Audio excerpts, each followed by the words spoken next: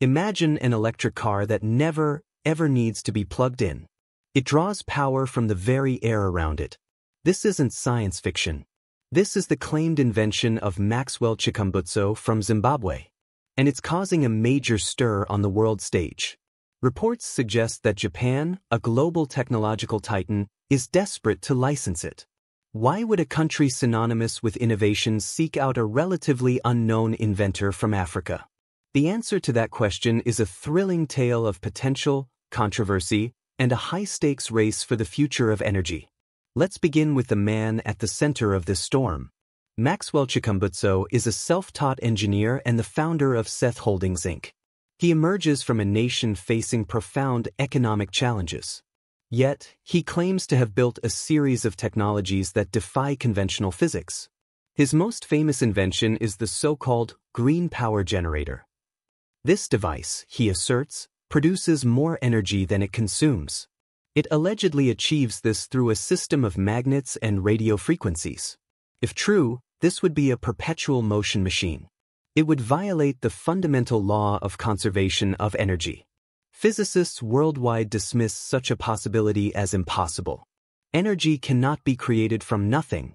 It can only be converted from one form to another. Then came his piece de resistance, an electric vehicle. This isn't just any EV. He calls it a radio frequency-powered electric vehicle. The prototype is a converted SUV, a Toyota RAV4. Its most shocking feature is the absence of a charging port. Chikumbutso claims it is powered by a receiver that harvests ambient radio waves. These are the invisible signals that fill our atmosphere.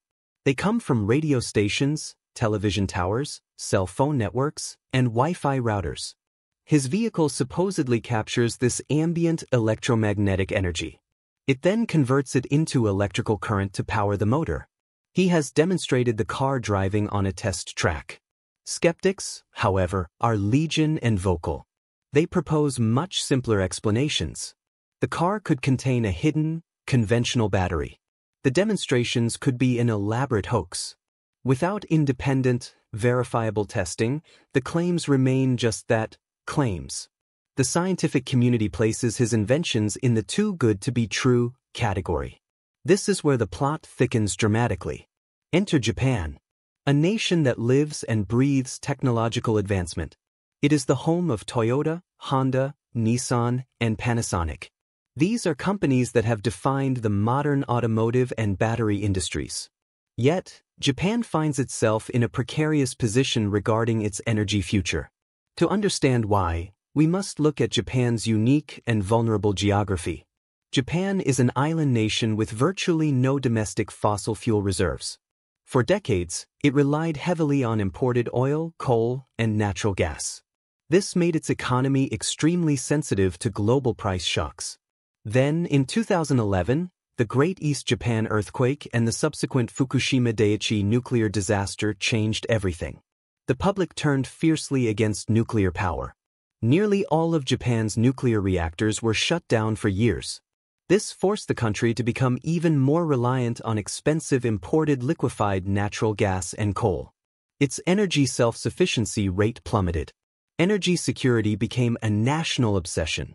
This vulnerability creates a powerful incentive to find a game-changing solution.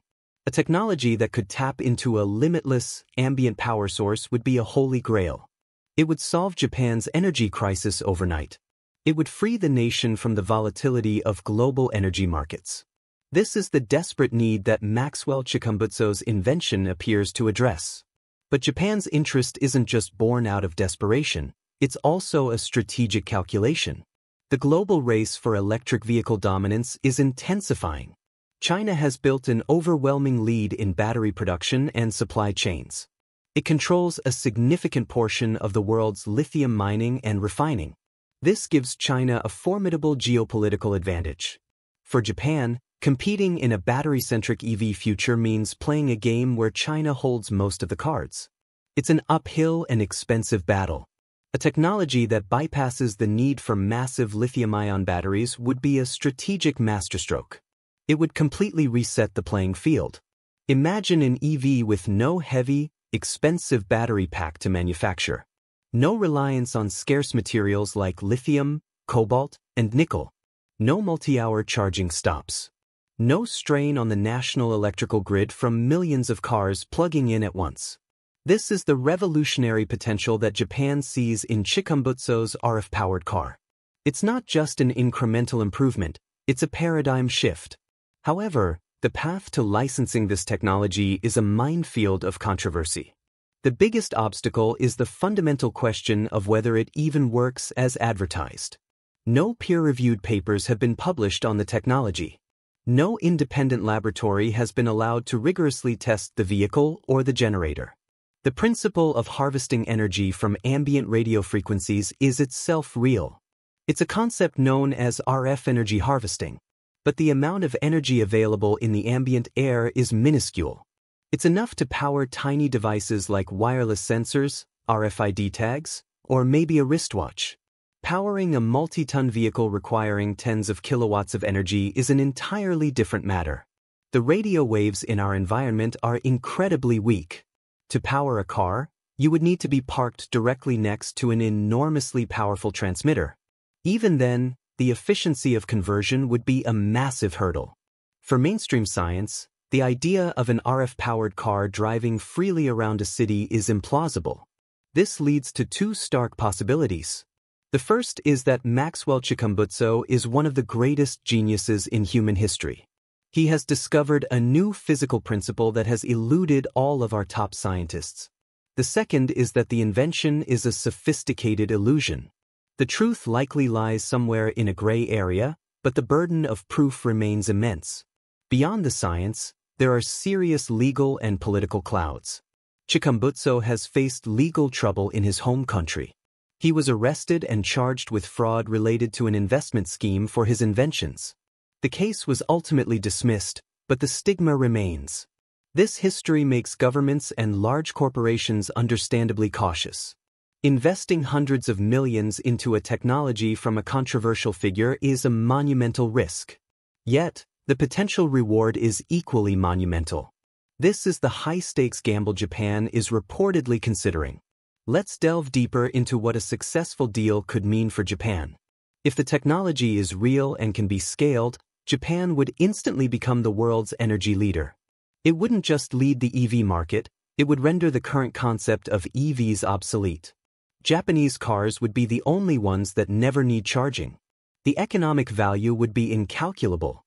The licensing rights alone would be worth trillions of dollars. Every other car manufacturer in the world would have to license the technology from Japan. It would create one of the most valuable intellectual property portfolios in history. On a geopolitical level, Japan's influence would soar. Nations dependent on oil exports would see their economies reshaped. Global power dynamics would shift away from the Middle East and towards Tokyo. Japan would achieve the energy independence it has craved for over a century. This isn't just about cars, it's about national power. But what if it's all a mirage? The risk for Japan is not just financial loss. It is the risk of a massive, global embarrassment. A country renowned for its meticulous quality control and engineering prowess being duped by a perpetual motion machine. Its credibility in high-tech sectors would suffer a severe blow. Competitors in the US, Europe, and China would pounce on the failure the Japanese government and its corporate partners would become a cautionary tale. This is why the negotiations, if they are indeed happening, would be incredibly complex and secretive. They would involve layers of intense due diligence. Teams of top physicists and engineers would be tasked with validating the claims. The process would be slow, secret, and fraught with tension. Now, let's consider the perspective of Maxwell Chikumbutso himself. Why would he choose to partner with Japan instead of another nation? Japan offers a unique combination of technological prowess, manufacturing capability, and global reach. A partnership with a Japanese consortium would provide instant legitimacy. It would silence many of the skeptics, at least temporarily. Furthermore, Japan has a history of embracing and perfecting foreign inventions. Think of how Japanese companies took American electronics and automotive ideas and refined them into world-beating products. Chikumbutso may see Japan as the ideal partner to bring his vision to life at a global scale. It's also possible that other countries, wary of the scientific controversy, have been unwilling to take the risk. Japan's unique desperation has made it the only serious suitor. The story of Maxwell Chikumbutso and Japan is a modern-day drama that touches on our deepest hopes and fears about the future. It is a story about the enduring allure of a free energy dream. For centuries, inventors have claimed to have cracked the code. They have promised devices that defy the laws of thermodynamics. None have ever stood up to scrutiny. This history makes it easy to dismiss Chikumbutso as just another charlatan. But what if, this one time, it's different? What if there is a kernel of truth in his inventions that conventional science has missed? Perhaps his system doesn't create energy, but harvests it from a source we haven't considered. Some have speculated about zero-point energy or tapping into the Earth's magnetic field. These are all fringe concepts, but the history of science is full of ideas that were once considered fringe. The pursuit of the impossible has often led to monumental discoveries. The world is watching this potential partnership with bated breath. The implications extend far beyond Japan or Zimbabwe. A successful RF-powered vehicle would be one of the most transformative inventions since the internal combustion engine. It would revolutionize transportation. It would dismantle the entire fossil fuel industry. It would dramatically reduce pollution and carbon emissions. It would bring electricity to remote, off-grid communities. The promise is nothing short of a utopian energy future. This is the dream that Japan is so desperate to believe in. It is a dream powerful enough to make a nation of skeptics take a chance on the impossible. In the end, the saga of Japan and Maxwell Chikumbutso is a powerful reminder. It shows that even in our advanced technological age, we are still captivated by the promise of a miracle. It highlights the immense pressure on nations to secure a sustainable and independent energy supply. And it underscores the fine line between visionary genius and audacious folly. Only time, and hopefully transparent verification, will reveal the true nature of this technology. Until then, it remains one of the most fascinating and potentially world-changing stories of our time. A story of a desperate nation. A story of a controversial inventor and a story of a car that, if the claims are true, will change everything we know about energy and motion.